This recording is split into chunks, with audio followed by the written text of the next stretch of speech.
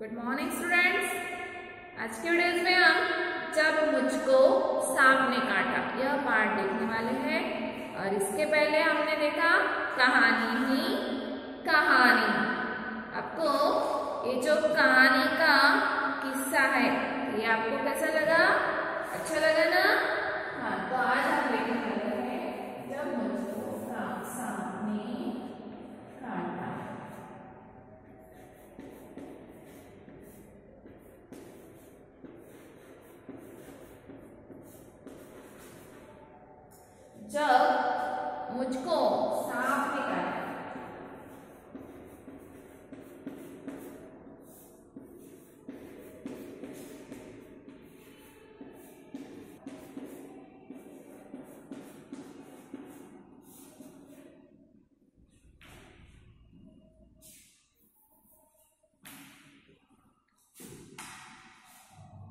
एक दिन मैंने अपने अहाते में एक छोटा सा सांप रेंगते हुए देखा।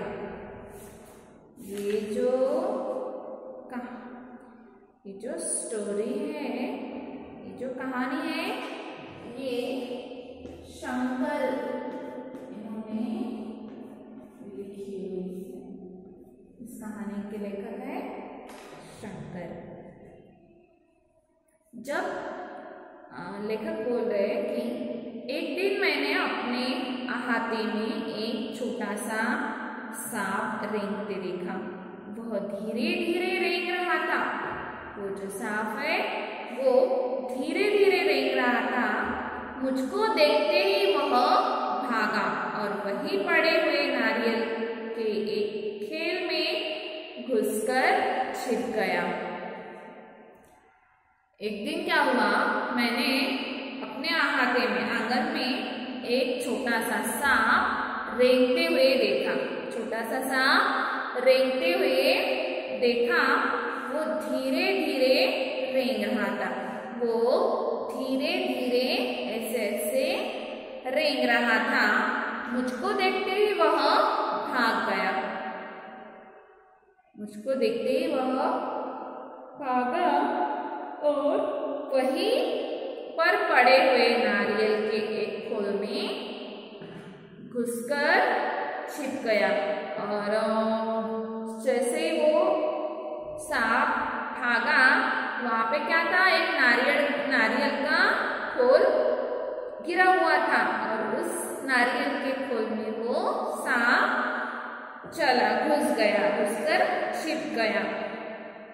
मैंने पत्थर का एक टुकड़ा उठाया और उससे नारियल के खोल का मुँह बंद कर दिया। मैंने क्या किया? एक पत्थर का टुकड़ा उठाया और उस नारियल के खोल का मुँह बंद कर दिया। ऐसा खोल रहता है ना नारियल का? तो उसका मुँह पत्थर रखकर बंद कर दिया। उसे लेकर मैं नानी के पास गया। लेखक क्या बोल रहे हैं? लेखक ने क्या किया? जो उन्होंने सांप देखा था आँगन में, रेंगते रेंगते वो लेखक को देखकर भाग गया और भागकर वो वहीं पे नारियल का फूल गिरा हुआ था तो उसके अंदर वो जाकर घुसकर छिप गया। तो लेखक ने क्या कहा? उस नारियल के खोल में एक पत्थर पत्थर का टुकड़ा उठाया और उस नारियल के खोल का मुँह बंद कर दिया। और वो नारियल का खोल लेकर नानी के पास दौड़ गए। लेकर वो नारियल का खोल लेकर नानी के पास चले गए। मैंने कहा, नानी, देखो, मैंने सांप पकड़ा है। और वो जो छोटा सा बच्चा था, वही लेखक है। और वो छोटा सा जो बच्चा है, वो नानी के पास गए और बोले मैंने कहा, नानी, देखो, मैंने सांप पकड़ा है। नानी, चीख कर उठी। नानी डर गई, चीख कर उठी। सांप, वो इतना घबरा गई कि लगी ज़ोर ज़ोर से चीखने, पुकारने। नानी इतना घबरा गई कि वो ज़ोर ज़ोर से चीखने लगी ज़ोर ज़ोर से चिल्लाने लगी, चिल्लाकर पुकारने लगी, चीखने पुकारने लगी। नाना ने सुना तो अंदर से नाना दौड़े आए। नाना ने नानी की आवाज़, चीखने चिल्लाने की आवाज़ सुनी और नाना अंदर ही बैठे थे तो वो बाहर दौड़े चले आए। जब उन्हें पता चला कि नारियल के खोल के अंदर सांप है तो उन्होंने मेरे हाथ से उन्हें छीनकर दूर फेंका। जब नाना को पता चला कि ये जो छोटा बच्चा है, उनके पोते के हाथ में जो नारियल का खोल है, उसके अंदर सांप है। तो नाना ने क्या किया? वो नारियल का खोल उठा लिया और दूर फेंक दिया। लेखक के हाथ से लेकर नारियल का फूल नाना ने दूर फेंक दिया। नन्ना सा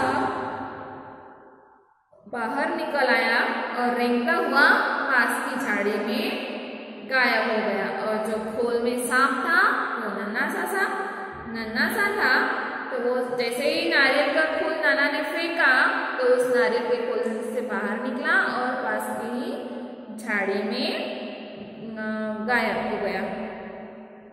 झाड़ी में चला गया। नाना ने मुझसे कहा, खबरदार कभी कभी खबरदार कभी सांप के पास मत जाना। नाना ने लेखक से कहा, खबरदार, फिर कभी सांप के पास मत जाना। सांप बहुत खतरनाक होता है। नाना बच्चे को समझाने लगे। सांप बहुत खतरनाक होता है। उसी दिन शाम को मैं एक पर को पकड़ने की कोशिश कर रहा था। उसी दिन शाम को शाम को मैं एक बर को पकड़ने की कोशिश कर रहा था। ये जो सांप का किस्सा ये भी खत्म हो गया। फिर क्या हुआ? उसी दिन शाम को लेखक लेखक ने एक बर को पकड़ने की कोशिश की। कोशिश कर रहा था कि उसने काट खाया। फिर ये हुआ सांप का किस्सा तो ये पे खत्म हो गया। फिर उसी दिन क्या हुआ? शाम को लेखक लेखक ने बर को पकड़ने की कोशिश की और वो बर ने उससे बर ने उसे काट खाया। बड़ी ज़ोर से दर्द उठा। मुझे दर्द से कराहते देख नानी ने सोचा कि मुझे सांप ने काट लिया है। मैंने दौड़कर नानी को उंगली दिखाई। उन्होंने जल्दी से नाना को पुकारा। नाना तुरंत दौड़े, आए और मेरी उंगली को देखा जहाँ बर ने काटा था। वहाँ नीला निशान पड़ गया था। वह चट मुझे गोद में उठाकर बाहर भागे। लेखक को फिर उसी दिन शाम को वो बस को पकड़ने की कोशिश में थे तो बर ने उन्हें काट लिया तो उनका उनकी उंगली नीली पड़ गई थी वहाँ पर। नीला निशान पड़ गया था वह चट। नाना ने लेखक को चट से गोद में उठाया और भा, बाहर भागे। बाग और धान के खेतों को खेतों को पार करके भागते भागते वह अपने घर से दूर एक छोटी सी झोपड़ी के सामने जाकर रुके। नाना ने क्या किया? अपने छोटे पोते को, लेखक को गोद में लिया और अपने घर से थोड़े दूर धान के खेतों को पार करके वो भागते भागते एक छोटी सी झोपड़ी के सामने जाकर रुके। वहाँ पहुँचते ही उन्होंने आवाज़ लगाई। झोपड़ी के पास पहुँचते ही नाना ने आवाज़ लगाई। एक बूढ़ा आदमी बाहर आया। जैसे ही नाना जी झोपड़ी के पास जाकर पहुँचे तो नाना ने ज़ोर से आवाज़ लगाई तो